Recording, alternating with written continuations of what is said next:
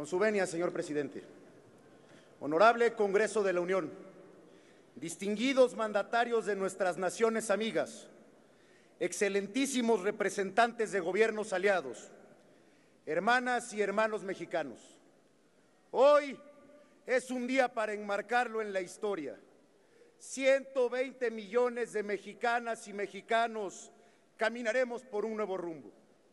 120 millones de historia de vida distintas daremos un giro hacia una nueva ruta, un nuevo destino, seguramente mejor para todos, y eso hay que celebrarlo.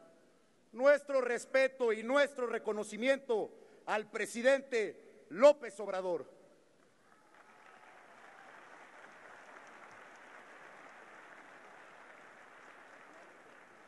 Llegó el día de la unidad para México. Llegó el momento de construir un México nuevo para todos.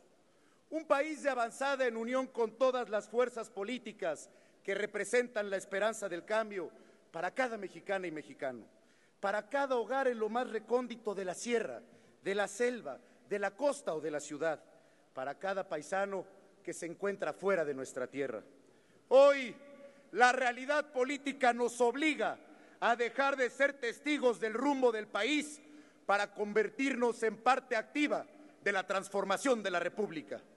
Y todos estamos llamados a trabajar en ello. México está por entrar de, de, lleno a una nueva etapa, donde la democracia debe de ser el más importante factor de cambio.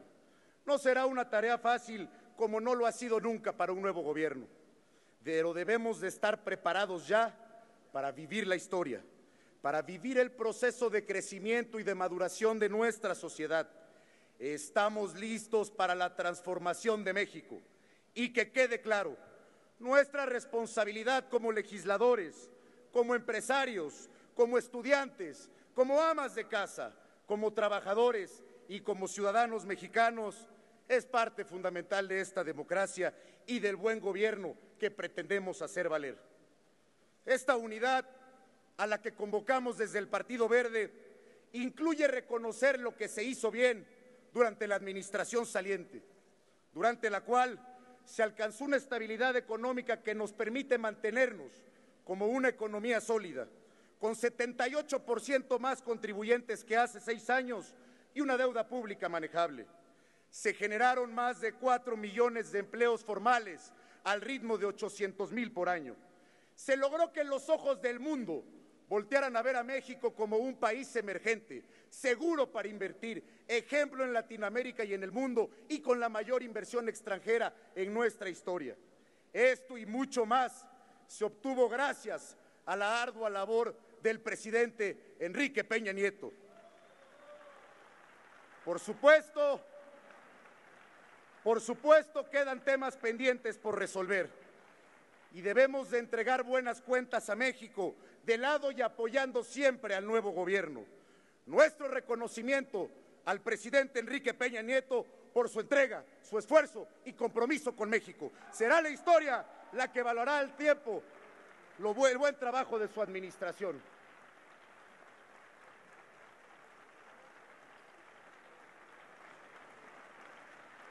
Es tiempo de actuar en unidad en beneficio del país, de los que vivimos en el sur, pero también unidos a los que viven en el norte, en el Bajío, en el centro, en unidad con nuestro medio ambiente. Debemos de escuchar a cada mexicana y mexicano para que construyamos una sola voz, clara y fuerte, solamente en favor de México. Dejemos ya a un lado el ustedes y el nosotros y vamos a poner a México al centro. Ya lo dijo nuestro valeroso insurgente Vicente Guerrero, la patria es primero. Y hoy más que nunca tenemos la obligación de anteponer el interés de la nación ante cualquier interés personal. Este gobierno que inicia, así como todos nosotros, debemos de convertirnos en ejemplo de respeto y atención a todos los sectores de nuestra sociedad, porque somos un solo México. En el Partido Verde tenemos claro que la transformación de México requiere unidad y organización respeto y cuidado a nuestro medio ambiente. Es lo único que logrará un cambio verdadero para nuestro país. Por ello, es preciso sumar voluntades a favor del proyecto que hoy postula el gobierno entrante y que resulta en el beneficio de todos los mexicanos. Todos los funcionarios electos hicimos un compromiso con la ciudadanía, con cada familia mexicana, con nosotros mismos, pero sobre todo con el país entero. Protestamos cumplir nuestra labor y tenemos el mismo objetivo, lograr un cambio verdadero para nuestro país. Y no hay otra forma de hacerlo que con la suma de esfuerzos, sin importar colores, posturas políticas ni intereses personales, la unión de todas las fuerzas políticas es la fuerza de México.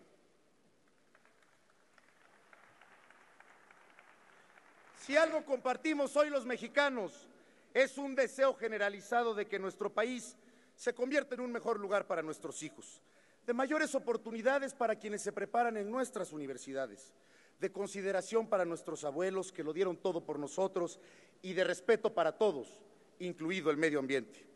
Está en nuestras manos la oportunidad histórica de lograrlo y seguramente encontraremos retos, dificultades en el camino, pero también vendrán los éxitos.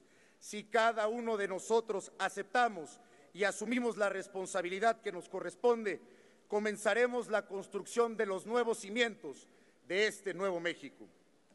Es una nueva etapa para nuestro país y todos somos motor para fortalecer el Estado de Derecho, fomentar el buen gobierno, reforzar la participación ciudadana libre y convertirnos en un factor de cambio positivo para nuestro México.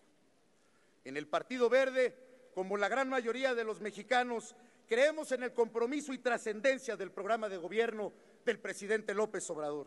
Es por ello que respaldamos sus proyectos de arranque.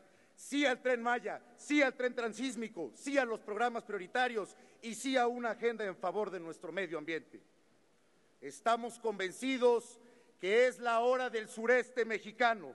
Es el momento para unirnos hacia el mismo rumbo de prosperidad y desarrollo del Bajío y del norte de México. Es la hora de la unidad para avanzar, la unidad para progresar. Es la hora de lograr la transformación. Llegó el tiempo para superar los rezagos y el olvido, el tiempo para hacerle justicia a nuestros pueblos originarios, a nuestros ancestros, para impulsar las causas sociales, el cuidado de nuestro entorno natural, el respeto a la equidad de género y a los derechos humanos. Llegó el tiempo de México.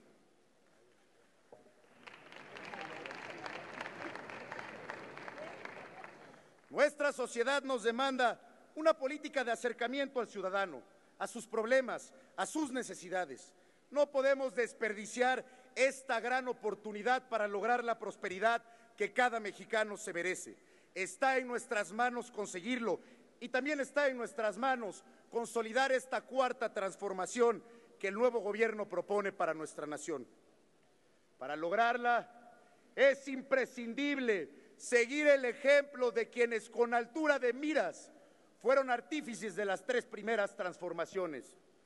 Necesitamos el espíritu conciliador de Agustín de Iturbide, quien colocó en primera instancia los intereses de la nación sobre sus intereses personales para afianzar la independencia de México. Él comprendió que es la unidad la que nos hace grandes. No somos ustedes y nosotros, todos somos México. Es imperativo estar a la altura de Benito Juárez, el gigante de Guelatao, quien con su espíritu republicano hizo de la ley su espada y su escudo para anteponer siempre los intereses de la nación, respetando siempre nuestra soberanía y la soberanía de las entidades federativas. Al margen de la ley, nada. Por encima de la ley, nadie.